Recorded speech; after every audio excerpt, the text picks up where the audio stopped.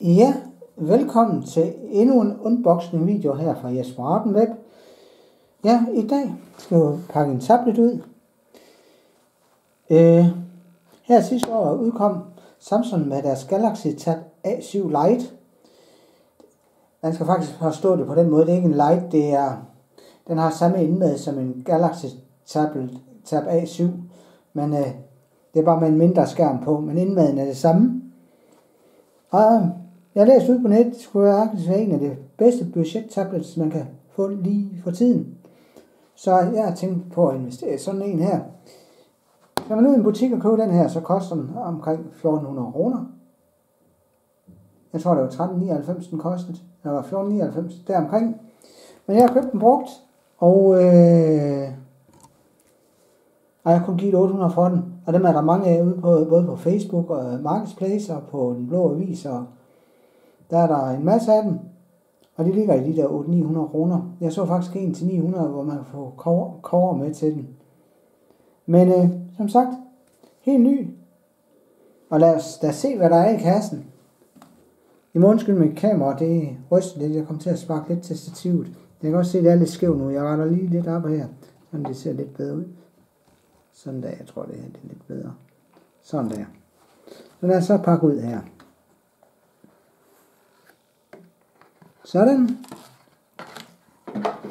Her har vi et tablet. Den pakker lige lidt ud lidt senere. Så skal vi have den her. Der er et strømstik. Der er en kabel. Og der er herinde.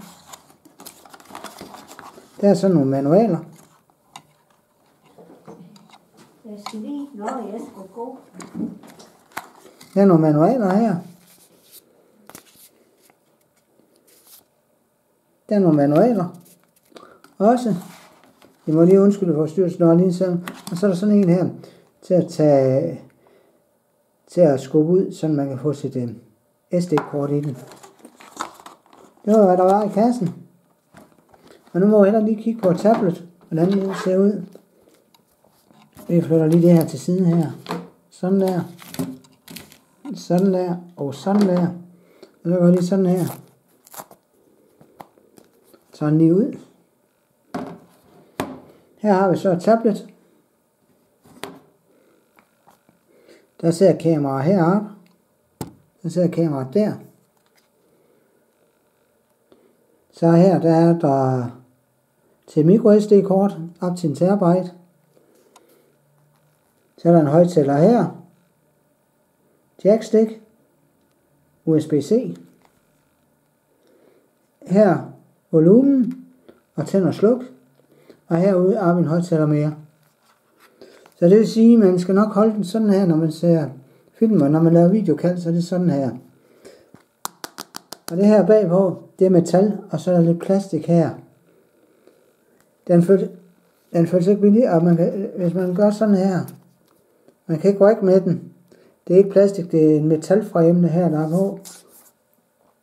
Og den virker meget, meget, meget.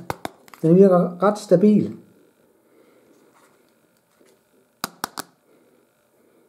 Og til 800 kroner, der synes jeg, det er en god kvalitet, også selvom man har givet 1400 Og det er en Mediatek processor, der sidder i den. Og øh, jeg tror, den er på 1,6 eller 1,8 GHz. Og jeg tror, det er en octa-core. Men øh, jeg kan ikke øh, lige øh, huske det. Men det ser i hvert fald øh, ud til at være en rigtig god, solid tablet, og jeg havde glædet mig til at få gang i den. Og jeg har også tænkt på, at det kunne være, nu er jeg ikke så super god til anmeldelser. Der er nok nogen ude på YouTube, der er bedre end mig. Men jeg vil da godt komme med en anmeldelse, når jeg har brugt den sådan en uge, 14 dage, hvad jeg mener om den, fordi jeg skal lige have den testet ud og alt det der. Men øh, det var så det. Det var lige den unboxing. Jeg takker, fordi I kigger med. I har kigget med, og jeg siger undskyld for de rystelser, der lige har været. Jeg kommer som sagt til at lige at sparke stativet. Jeg kunne, øh, jeg kunne selvfølgelig bare have lavet videoen om, men jeg tænkte nu er jeg i gang, så det var den unboxing. Tak for nu, og vi ses.